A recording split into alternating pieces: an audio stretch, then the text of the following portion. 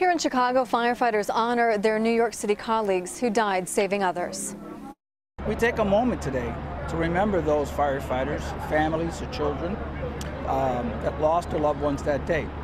The country lost many, and the fire service lost a lot.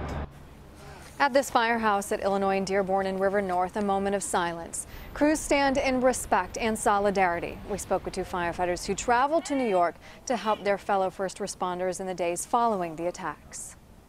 Seems like it was yesterday when you start bringing back the memories.